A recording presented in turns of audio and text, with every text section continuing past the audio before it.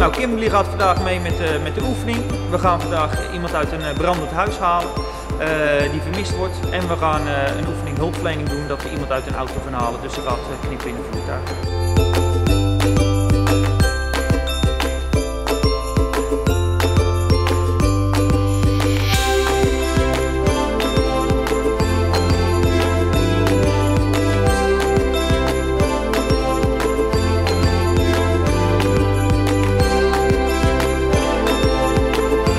Onwijs bedankt dat je vandaag eh, hier eh, op de brandweerkazerne bent geweest. Dat je mee hebt mogen doen met de oefeningen. Ik wens je heel veel succes eh, met je UNICEF-actie.